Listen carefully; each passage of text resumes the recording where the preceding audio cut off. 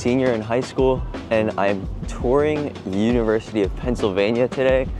Even though I haven't gotten my decision yet, this is one of my top choices.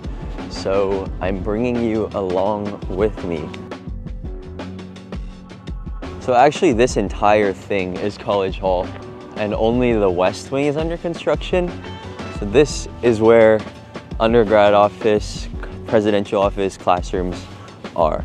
It does definitely look like Addams Family type stuff.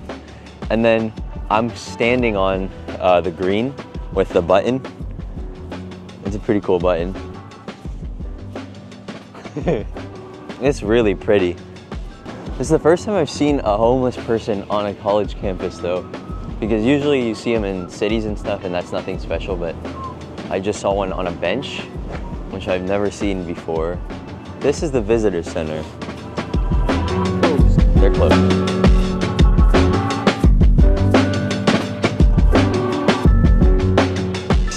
is Houston Hall. It's the center of most of the recreational and dining stuff on campus, I think. Right? Irvine Auditorium. We're now headed to the Fisher Fine Arts Library, which is behind the auditorium. A lot of squirrels here. Oh my god. Oh, there's a black squirrel. Oh, they're chasing. They're going somewhere. This is the Penn sign.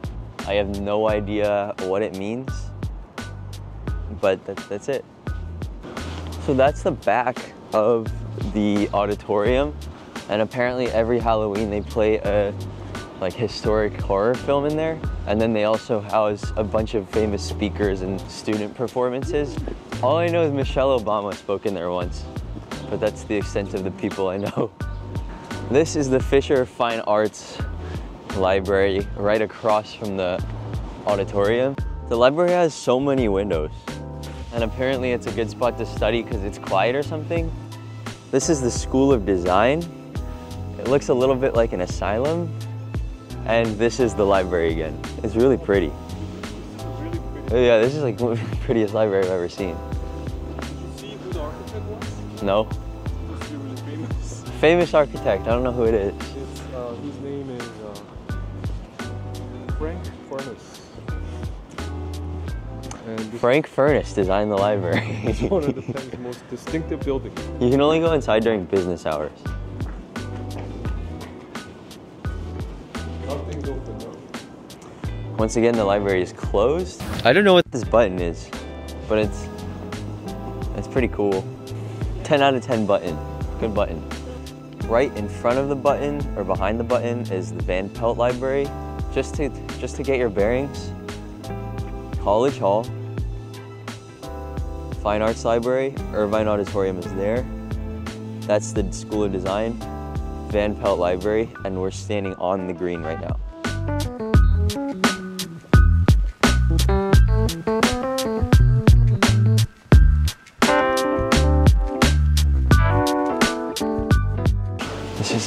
Is what I was talking about. It's like proprietary or something.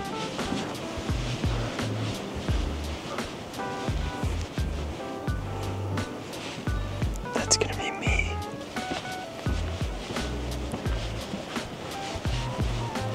Center for Special Collections, Rare Books, and Manuscripts. I guess Penn doesn't use Oxford commas.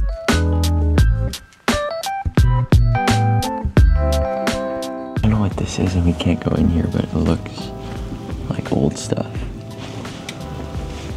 It's called the Leah Lee Leah Library. This campus feels very much like other Ivies. It's very studio. Oh, whoa. Look at these. This is crazy. I really like their general, like, their fonts and stuff are really cool. Their kind of design aesthetic is really nice.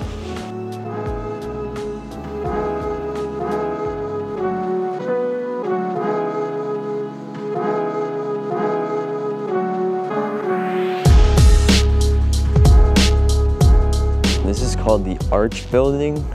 It stands for Arts Research and Culture House. I think it's pretty much the home of just like any kind of research that you want to do.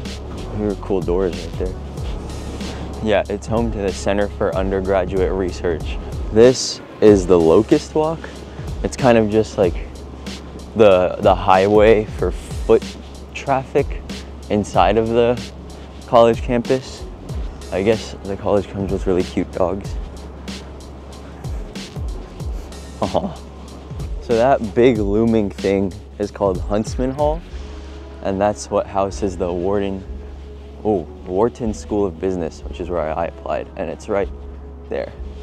So this is this is Huntsman Hall, and then across that bridge is a bunch of apartments and stuff where you can live, I guess like on campus still, but it's it's separate apartments and not dorms. It's called the high-rise apartments. Apart resident, high-rise of residence. Look at this school. This is so cool.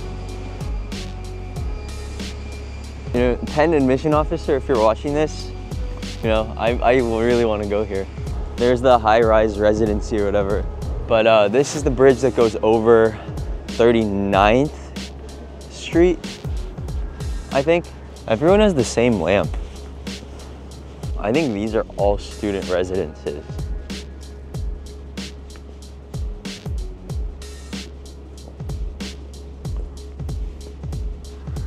This is a very nice bridge. 10 out of 10 bridge. I would cross it many times. Just let me come. Yeah, please, please let me come here. the campus is like right embedded inside of Philadelphia, and there's all of these shops and even a physical therapy place down there. So that's pretty nice. And then right across the street from, I think, the library or the School of Design, there's this uh, food hall. We thought the Philadelphia tour was at 3 o'clock, but it was at 2 o'clock, so we are currently driving over in a hurried fashion.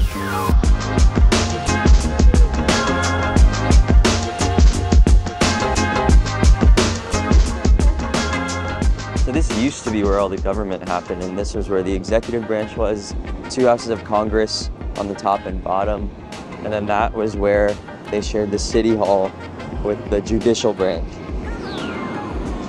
This is the American Philosophical Society, whatever building, uh, founded by Ben Franklin. Our tour guide says that that little patch of weeds over there was the first medical school in America. It's like 20 feet by 20 feet. Yeah. Yeah, they replaced the important stuff with weeds that got torn down. That's the first bank of the United States. brainchild of who? Forgot. Alexander Hamilton, a Federalist. Go Federalists. Federalists made America what it is today because they made the government really big, but now it's a little too big. Go Federalists, but not right now. These are in commemoration of Ben Franklin's house. And this is what the neighborhood would have looked like. And this is the original archway. What do you think? I think the the college is nice. It's very nice. I can't like see myself there, but like I wouldn't mind being there at all. Like I can't picture myself living there. You can. I can't. You can't. But like, I want to go there though. I don't know if that makes sense. I could see myself at Princeton, We got buffalo wings, cheese steak. But like I wouldn't mind going here. either. You got two Yeah. Yeah. But it's very nice. And then the city all around. Like I don't think I'll ever get bored. There's so much stuff to do, and like everything that you see has some kind of significance. Yeah, that's cool. Having the history along with the city, that's Yeah. So Penn was founded by Benjamin Franklin, who basically founded the entire Philadelphia area. His name and likeness is plastered on the walls everywhere.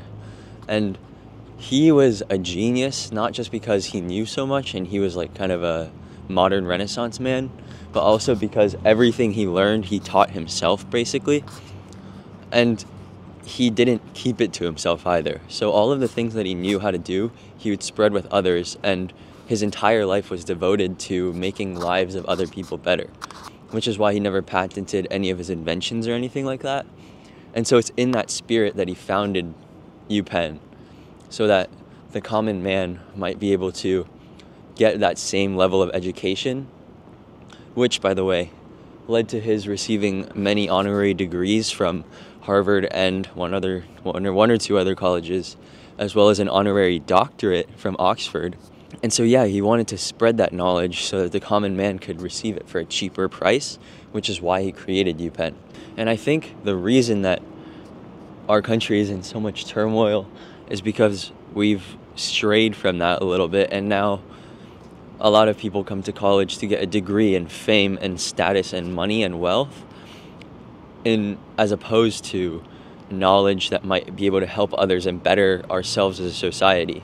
And also the Penn UPenn's mascot is the Quakers and our tour guide was saying that the Quakers wouldn't even name anything after themselves because they thought it was putting themselves above God or above uh, each other, which was a big no-no. And even just the mascot of Penn, I think is a symbol for what it stands for.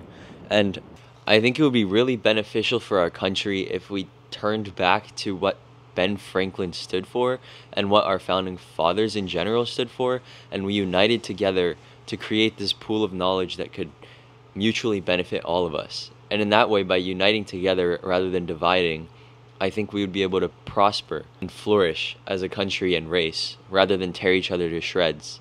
And I think that UPenn is where that can start.